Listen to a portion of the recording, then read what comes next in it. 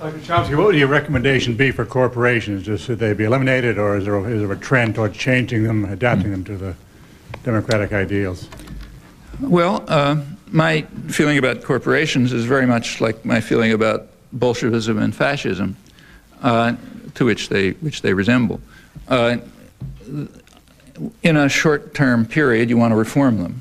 Okay, so if you're living under, say, the rule of a king, you know, uh, it makes sense to plead with the king to be to act more kindly to his subjects. You know, uh, and that's always good. You know, instead, so don't torture as many people, and you know, give more gifts to poor people, and so on, and that makes good sense. Uh, when the population of the United States by 20 to one says that corporations ought to sacrifice profits for communities and uh, workers, that 95% majority is saying the king ought to be more benevolent, not so harsh. Uh, and that's I agree with that. The king ought to be more benevolent. But of course, you can go a little further and say, is the institution legitimate at all? And I don't think it is, uh, uh, for the reasons I discussed. So therefore, it ought to be dismantled. Uh, and workers ought to be the masters of their own industrial fate, as uh, Dewey put it uh, and all the rest, you know, way back to Lincoln and, you know, back to Aristotle and so on. Uh, now, it's kind of an interesting commentary on the way the propaganda system, the doctrinal system has functioned, that ideas that were standard among, you know, mill hands and Lowell 100 years ago sound unimaginable today. I mean, they were saying, look, the institution's illegitimate. It's uh, infringing on our rights as free men and women. Uh, we're not, they were not asking the autocracy to be more benevolent. They were saying it should disappear because we want to enjoy the rights that we won in the American Revolution, or so they thought. Nowadays, that's almost unthinkable. Uh, and the most that can be asked for is that the uh, absolutism be more benevolent, that the king act a little more nicely.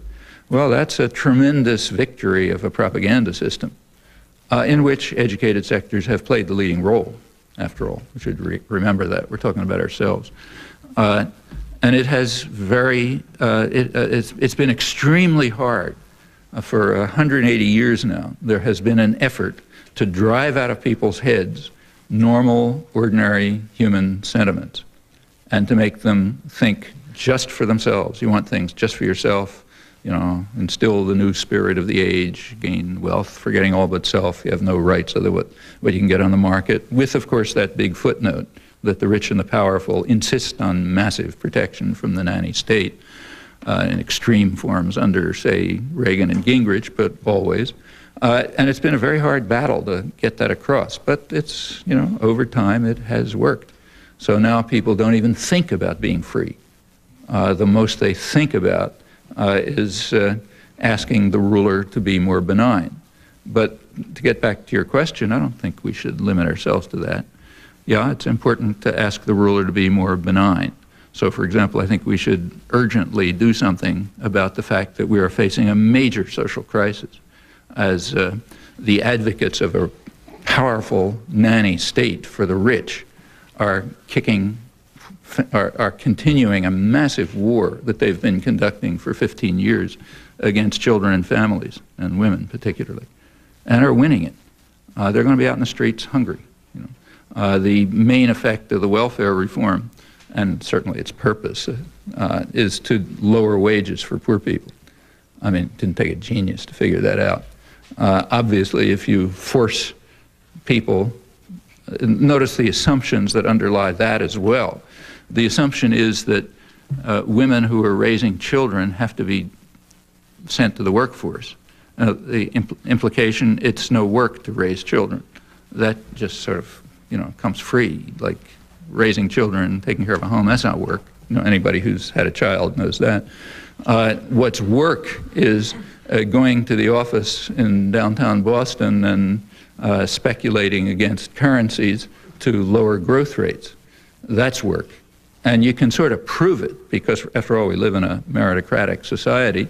So you measure the value of work by the amount you get paid. Uh, for raising a child, you get paid zero.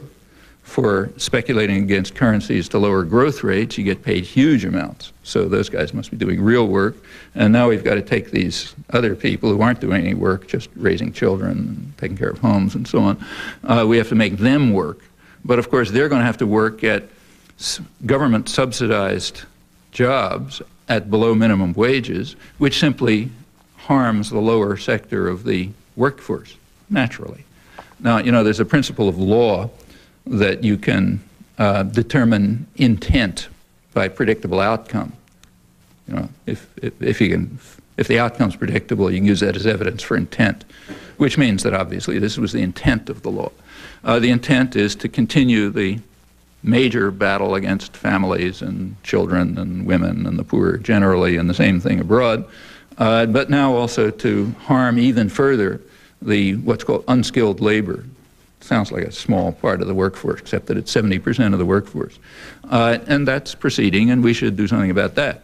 So I think that should be immediately on the agenda, make the autocrats be less brutal and cruel.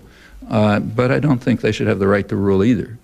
I think we should be able to understand what mill hands in uh, Massachusetts or Abraham Lincoln or others understood.